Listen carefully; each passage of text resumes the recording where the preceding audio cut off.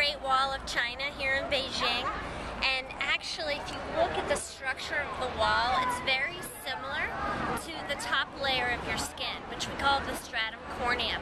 But if you look at the bottom bricks, and they're they're large, that's like the stem cells in your skin. And as they grow and change, they flatten out, and then at the top, they flake off. So the Great Wall of China is actually a great illustration of how the top layer of your skin works. And this is layer that most cosmetic products work on. So all the money that is spent on skincare is mostly spent on this top layer of the skin, which looks exactly like the Great Wall.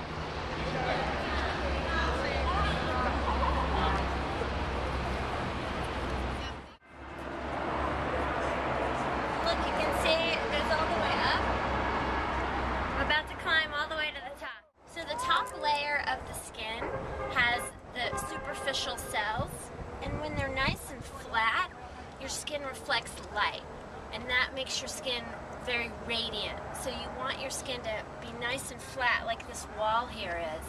And things like glycolic acid, microdermabrasion, um, scrubs, exfoliating things, that will take off the top dead layer of cells and make your skin look really smooth. The reason I like to use the Chinese wall as an example is if you look at the other side of the wall, come over on this side, you see these heaps and valleys of bricks. This is what your skin looks like when it's not well hydrated. The cells pile up. They make these heaps and valleys, and that doesn't reflect light very well, and so your skin looks dull. So if you scrape this top part out and make it look flat, your skin will be more radiant.